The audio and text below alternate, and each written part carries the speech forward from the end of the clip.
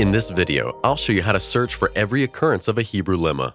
Then see your results in Hebrew and English, and quickly locate this entry in your favorite lexicon. Looking up a word or phrase in the Hebrew Bible is easier than ever with logos. Take for example Judges 8:26 in the BHS. The text says that after being offered the kingship, Gideon requested that each of his men donate a golden earring from their share of the spoil. If you prefer having an English translation open, open the ESV in a new panel.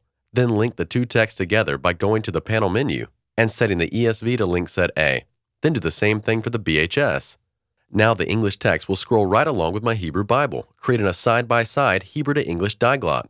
I can also enable the sympathetic highlighting feature to see the Hebrew equivalent of English terms and phrases. To do this, go to the Visual Filter dropdown and enable this feature with a check.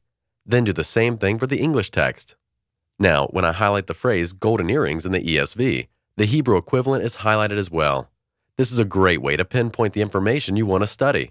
Now, to find every occurrence of the Hebrew lemma nezem, translated here as earring, simply right-click the term, then in the context menu, choose the lemma form, then choose to search this resource.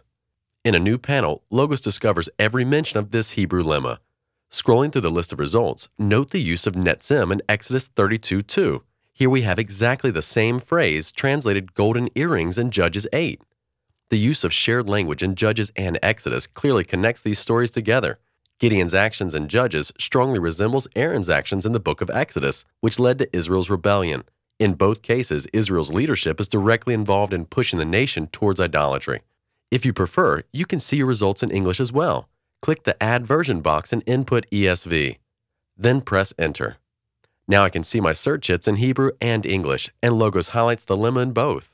To define a term in your favorite lexicon, simply double-click the term in the Hebrew Bible, and Logos locates that entry in your preferred lexicon.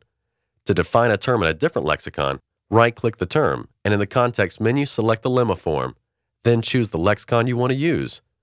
To get started using the Hebrew Bible in Logos, go to logos.com/6.